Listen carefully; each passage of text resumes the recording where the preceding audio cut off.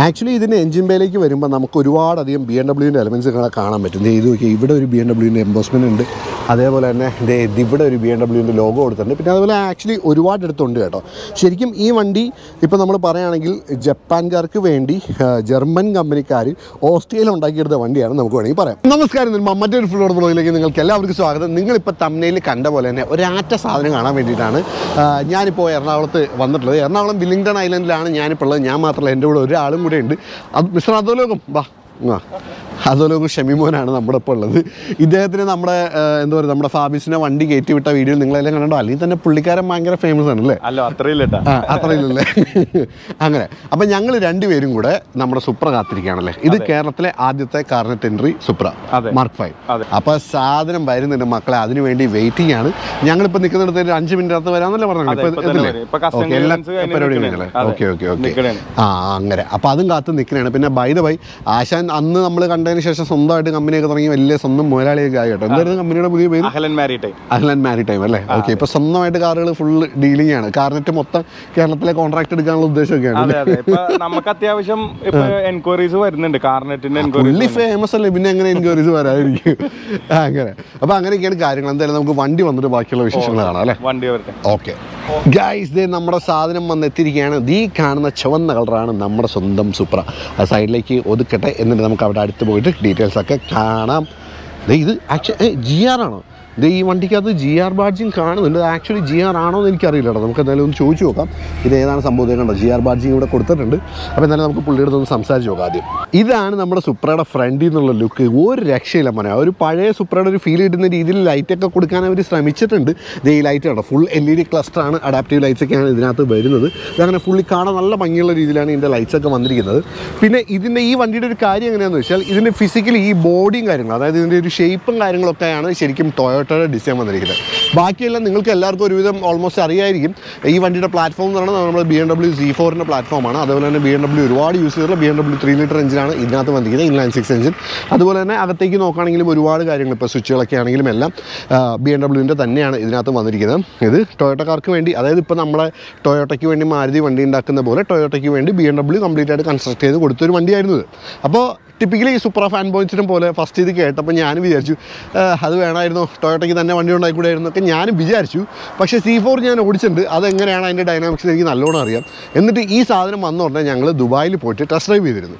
ദുബായിൽ അന്ന് ഞാൻ ഓടിച്ച് ടു ലിറ്റർ വെർഷൻ ഉണ്ട് അതിന്റെ ടു ലിറ്റർ എഞ്ചിൻ വരുന്നത്. അതാണ് ഓടിച്ചത്. എന്നിട്ടും കൂടെ ഒരു രക്ഷയിലായിരുന്നു വണ്ടി ഭയങ്കര സ്റ്റേബിളാണ് പോളി സാധനമാണ്. അപ്പോൾ അന്ന് ഓടിച്ചപ്പോഴാണ് എനിക്ക് ഈ വണ്ടി ഇതിനോട് ഭയങ്കരമായിട്ടുള്ള സ്നേഹം അപ്പോൾ ഈ വന്നിരിക്കുന്നത് ഞാൻ പറഞ്ഞ മാതിരി ജി ആർ എഡിഷനാണ് അതിനകത്ത് വന്നിരിക്കുന്നത് ത്രീ ലിറ്റർ ഇൻലൈൻ സിക്സ് എഞ്ചിനാണ് ഈ വണ്ടി ഇറങ്ങാൻ നേരത്ത് അതിന്റെ ഒരു ഫ്ലാഗ്ഷിപ്പ് കളറായിട്ട് ഒരു യെല്ലോ ആണ് അവർ കൂടുതലായിട്ട് പ്ലേസ് ചെയ്തിരുന്നെങ്കിലും പക്ഷേ ഇറങ്ങി കഴിഞ്ഞപ്പോൾ ഏറ്റവും കൂടുതൽ ഡിമാൻഡ് വന്ന കളറാണ് ഈ കാണുന്ന റെഡ് എന്ന് പറയുന്നത്. ഇതിന്റെ റൂഫ് നമുക്ക് എയറോഡൈനാമിക്കലി ഹെൽപ്പ് ചെയ്യുന്നതിന് വേണ്ടിയിട്ട് ബബിൾ ടൈപ്പ് ഒക്കെയാണ് റൂഫ് വന്നിരിക്കുന്നത്. പിന്നെ ഇവിടെ അകത്തേക്ക് നോക്കുകയാണെങ്കിൽ അകത്തേക്ക് കയറുമ്പോഴും ഞാൻ പറഞ്ഞ പോലെ തന്നെ ഒരുപാട് ബി എം ഡബ്ല്യു എലമെന്റ്സ് കാണാൻ പറ്റും. ഇപ്പോൾ ഈ full red colour seat I mean ഈ ലെതർ സീറ്റ് ഇങ്ങനെ വരുന്നതെന്ന് പറഞ്ഞാൽ ഏറ്റവും ടോപ്പ് മോഡൽ മാത്രമാണ് വരുന്നത്. താഴേക്ക് വരുമ്പോൾ ഇവിടെ അലക്കന്താര ഫാബ്രിക്കുള്ള ഒരു സാധനമൊക്കെയാണ് ഇതിന്റെ താഴേക്കുള്ള മോഡൽസിലേക്ക് വരുമ്പോൾ. പിന്നെ ഇവിടെ അകത്തേക്ക് കയറിയിരിക്കുകയാണെങ്കിൽ ഇപ്പം നിങ്ങൾക്ക് കാണാവുന്ന പോലെ തന്നെ ഈ ഭാഗമൊക്കെ കണ്ടു കഴിഞ്ഞാൽ അസൽ ബി എം ഡബ്ല്യൂ തന്നെയാണ് അല്ലേ? ബി എം ഡബ്ല്യൂ നമ്മൾ കണ്ടിട്ടുള്ള ആ രീതിയിലുള്ള സ്വിച്ചുകളും കാര്യങ്ങളൊക്കെയാണ് ഇവിടെയൊക്കെ വന്നിരിക്കുന്നത്. ഈവൻ ഗിയർ സ്റ്റെപ്പും വലിയ വ്യത്യാസമൊന്നുമില്ല. ഇവിടെയുള്ള സ്വിച്ചുകളാണെങ്കിൽ ഏകദേശം അതുപോലെ തന്നെ. പിന്നെ ഇതിനകത്തൊരു കാർബൺ ഫൈബർ എലമെന്റ് ഇങ്ങനെ എക്സ്ട്രാ വന്നിട്ടുണ്ട്. പിന്നെ അതുപോലെ തന്നെ സ്റ്റിയറിംഗ് നോക്കുകയാണെങ്കിലും ഈ സൈഡിലൊക്കെ നോക്കുകയാണെങ്കിലും ബി എം ഡബ്ല്യൂയിൽ നമ്മൾ ഒരുപാട് കണ്ടിട്ടുള്ള രീതി തന്നെയാണ് വന്നിട്ടുള്ളത്. പിന്നെ അത് മാത്രമല്ല ഇവിടെയുള്ള സ്വിച്ചുകൾ നോക്കിയേ അതേപോലെ ഇവിടെയുള്ള സ്വിച്ചുകൾ ഇതെല്ലാം കണ്ടാലും നമ്മുടെ എന്താ പറയുക ബി എം ഡബ്ല്യൂ മോഡൽ തന്നെയാണ് വന്നിരിക്കുന്നത്. പിന്നെ അതേപോലെ ഈ ജെ ബി എല്ലിന്റെ പന്ത്രണ്ട് സ്പീക്കർ സിസ്റ്റം ശരിക്കും വരുന്നത് ഈ ജി ആറിന് മാത്രമേ വരുന്നുള്ളൂ. അതായത് ടോപ്പ് മോഡലിന് മാത്രമേ വരുന്നുള്ളൂ.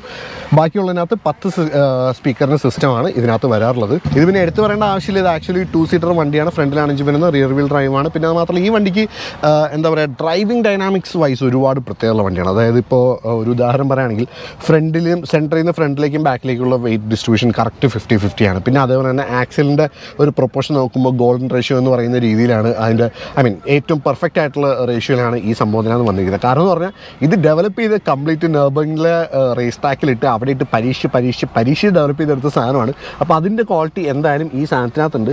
ഇതിന്റെ നമുക്ക് എന്തായാലും പുറത്തേക്ക് ഇറങ്ങിയിട്ട് ഈ വണ്ടിയുടെ സൗണ്ടും കാര്യങ്ങളൊക്കെ ഒന്ന് കേൾക്കാം. പക്ഷേ അതിന് മുന്നേ നമുക്ക് വണ്ടിയുടെ എഞ്ചിൻ ബേ ഒന്ന് കാണാം. അപ്പോൾ ഇതാണ് നമ്മുടെ സുപ്രയുടെ എഞ്ചിൻ ബേ ഇവിടേക്ക് നോക്കുകയാണെങ്കിൽ നമ്മുടെ ഞാൻ നേരത്തെ പറഞ്ഞ മാതിരി B M ഡബ്ല്യൂവിന്റെ inline inline six three litre engine ഇരിക്കുന്നത് പക്ഷേ ഇതിനകത്ത് കുറേ ഇന്റേർണൽ കോമ്പണൻസും കാര്യങ്ങളൊക്കെ ടൊയോട്ടോയുടെ തന്നെയാണ്. അല്ലെങ്കിൽ ടൊയോട്ടോയുടെ സ്പെക്കിനനുസരിച്ചാണ് വന്നിരിക്കുന്നത്. മാത്രമല്ല ടൂണും കംപ്ലീറ്റ് ആയിട്ട് വ്യത്യാസമുണ്ട്. ഇപ്പോൾ ഒരു ഉദാഹരണം പറയുകയാണെങ്കിൽ നമ്മൾ കുറേ മാരുതി വണ്ടികൾ ടൊയോട്ടോ ബ്രാൻഡിങ്ങിൽ ഇറങ്ങുന്നത് നമ്മൾ കാണാറുണ്ട്. പക്ഷേ അതിനകത്ത് വരുന്ന എഞ്ചിൻ കെ സീരീസിന്റെ ആ പ്ലാറ്റ്ഫോം സെയിം ആണെങ്കിലും അതിനകത്ത് വരുന്ന കോമൺ എഞ്ചിൻ ടൂണിയൊക്കെ ഒരുപാട് വ്യത്യാസമുണ്ട്. അതുകൊണ്ടാണ് ടൊയോട്ടോയുടെ വണ്ടികൾക്ക് കൂടുതൽ സർവീസ് എന്താ പറയുക ഗ്യാരണ്ടിയും കാര്യങ്ങളൊക്കെ ടൊയോട്ടോ കൊടുക്കുന്നത്. അപ്പോൾ അതുപോലൊരു സംഭവം ഇതിനകത്ത് വന്നിട്ടുണ്ട്. ടൊയോട്ടോ ഒരു ടച്ച് വന്നിട്ടുള്ള ബി എം ഡബ്ല്യു എഞ്ചിനാണ് ഇതെന്ന് നമുക്ക് വേണമെങ്കിൽ പറയാം. അപ്പോൾ ഈ സംഭവത്തിന്റെ കാര്യം പറയുകയാണെങ്കിൽ three hundred and eighty five horse power റേഞ്ചിലാണ് ഇതിന്റെ ഒരു horse power I mean power figures വരുന്നത്. അതുപോലെ തന്നെ ഫൈവ് ഹൺഡ്രഡ് എൻ എം ടോർക്കാണ് കമ്പനി പറഞ്ഞിരിക്കുന്നത്. പക്ഷേ ഇതൊക്കെ നമ്മൾ ഡൈനോലൊക്കെ ചെയ്യുമ്പോൾ കംപ്ലീറ്റ് ആയിട്ട് വ്യത്യാസം വരുന്നുണ്ട് ഡൈനോയിലൊക്കെ ത്രീ നയന്റി പ്ലസ് ഒക്കെ ചെയ്യുന്ന വീഡിയോ നമ്മുടെ യൂട്യൂബിൽ തന്നെ അവൈലബിൾ ആണ് ഈ വണ്ടിയുടേത്. പിന്നെ മാത്രമല്ല ഇതിന് സീറോ ടു ഹൺഡ്രഡ് ഇപ്പോൾ നെറ്റിലൊക്കെ നോക്കുകയാണെങ്കിൽ ഫൈവ് സെക്കൻഡ്സ് എന്നൊക്കെ കാണാം. പക്ഷേ ഫോർ സെക്കൻഡ്സിന്റെയൊക്കെ വീഡിയോ തന്നെ യൂട്യൂബിൽ കിടക്കുന്നുണ്ട്. ത്രീ പോയിന്റ് നയനും കിട്ടുമെന്നൊക്കെ കേട്ടിട്ടുണ്ട്. അപ്പോൾ അങ്ങനെയൊക്കെയാണ് കാര്യങ്ങൾ പിന്നെ ഇതിന്റെ ഫുൾ ഡീറ്റെയിൽസിലേക്ക് ഞാൻ കിടക്കുന്നില്ല. ഫുൾ ഡീറ്റെയിൽസ് എന്തായാലും നമ്മൾ ഹാനിക്ക ഒരു ഫുൾ ഡീറ്റെയിൽ റിവ്യൂ ഹാനിക്ക സ്റ്റൈലിൽ എടുക്കുന്നുണ്ട്. ഞാൻ ജസ്റ്റ് ഒന്ന് ഷോക്കേസ് ചെയ്യാൻ മാത്രമേ ഞാനിപ്പോൾ ഉദ്ദേശിക്കുന്നുള്ളൂ. അപ്പോൾ ഇതാണ് നമ്മുടെ എഞ്ചിൻ ബേ എന്തായാലും നമുക്ക് ഈ സൗണ്ടും കൂടെ കണ്ടിട്ട് ഈ വീഡിയോ അവസാനിപ്പിക്കാം. ആക്ച്വലി വണ്ടി കൊണ്ട് ഇവിടെ നടത്തി കഴിയുമ്പോൾ ചുറ്റും ഒരുപാട് ആൾക്കാരൊക്കെ കൂടിയിട്ടുണ്ട്. നമുക്ക് എന്തായാലും ഉടനെ എന്റെ വണ്ടി ഒന്ന് സ്റ്റാർട്ട് ചെയ്യാം. ബ്രോ ഒന്ന് സ്റ്റാർട്ട് ചെയ്തേ. അയ്യോ ഇത് സ്പോട്ട് മോഡിലെ സൗണ്ടാണ് കേട്ടോ. ഇത് ശരിക്കും ഒന്ന് എഞ്ചിൻ മാമായി കഴിഞ്ഞാൽ ഇത് പുതിയ വണ്ടിയാണ്. രണ്ടായിരം കിലോമീറ്റർ വരെ ഓടിയിട്ടുള്ളൂ. അപ്പോൾ അതുകൊണ്ട് ഒരുപാട് ഹൈ ആർ പി എമ്മിലേക്ക് നമ്മൾ പോകില്ല ബ്രോ ചെറുതായിട്ടൊന്ന് കാലം കൊടുത്തേ. അയവ അയവ ഒന്നുകൂടി ഒന്നുകൂടി ഓ പോളി പോളി പോളി പോളി പോളി ഓക്കെ ഓക്കെ ഓക്കെ സെറ്റ് അങ്ങനെ പോളി എക്സോസിനായിട്ടാണ് ഒരു രക്ഷ. നല്ല സോഫ്റ്റ് ആയിട്ട് സബ്റ്റിലായിട്ട് എന്നാൽ നല്ല ഗ്രണ്ടുള്ള രീതിയിലുള്ള സൗണ്ടാണ് വന്നിരിക്കുന്നത്. പിന്നെ അവർ നമ്മുടെ എഫ് എൺ കാഴ്ചയിലൊക്കെ വരുന്ന ഒരു ബാക്കിൽ ഒരു ഫോഗലൈറ്റ് ഇത് കണ്ടോ അങ്ങനെ. അപ്പോൾ അങ്ങനെ അടിപൊളി സെറ്റപ്പാണ് ഒന്നും പറയാനില്ല. ഞാൻ പറഞ്ഞ മാതിരി ഇതിന്റെ കൂടുതൽ ഡീറ്റെയിൽസ് ഡീറ്റെയിൽഡ് ആയിട്ടുള്ള റിവ്യൂ നമ്മുടെ ഹാനിക്കാട് ചാനലിൽ വരുന്നുണ്ടാവും. അപ്പോൾ നമ്മൾ ചെറുതായിട്ട് ഈ പരിപാടി അങ്ങോട്ട് അവസാനിപ്പിക്കാൻ പോകണം ഞാൻ ഓണറിനെയും കൂടെ ഒന്ന് പരിചയപ്പെടുത്തിയിട്ട് വീഡിയോ അവസാനിപ്പിക്കാം. ബ്രോ നമസ്കാരം. പേരും കാര്യങ്ങളൊക്കെ ഒന്ന് പറഞ്ഞു. എന്റെ പേര് ഷെരീഫ്. ഷെരീഫ്. പാലക്കാട് കല്ലപ്പുഴ. Okay okay. അടിപൊളി. ഇതിപ്പോൾ എടുത്തിട്ട് രണ്ടായിരം കിലോമീറ്ററല്ലേ ആയുള്ളൂ എന്ന് പറഞ്ഞു. ആ ശരി അത് ശരി. അപ്പോൾ എന്തായാലും കൊണ്ടുവന്ന് എടുത്ത ഉടനെ നേരെ ഇങ്ങോട്ട് നാട്ടിലേക്ക് തന്നെ ഇറക്കിയേക്കാന്ന് വിചാരിച്ചല്ലേ അത്. എന്തായാലും നന്നായി. നല്ല തീരുമാനം. അപ്പോൾ എത്ര നാൾ ഇവിടെ ഉണ്ടാവും നാട്ടിൽ ഇവിടെ two to four months depending upon അവിടുത്തെ സിറ്റുവേഷൻ ദുബൈത്തെ. ഇടയ്ക്ക് പോകേണ്ടി വന്നു കഴിഞ്ഞാൽ തിരിച്ചു കൊണ്ടുപോകേണ്ടി വരുമല്ലോ അല്ലേ? ഓക്കെ. അപ്പോൾ ഏകദേശം ഒരു നാല് മാസം ഉണ്ട് അപ്പോൾ എന്താണ് പ്ലാൻ നമ്മൾ എവിടേക്കാണ് പോകാൻ പോകുന്നത്?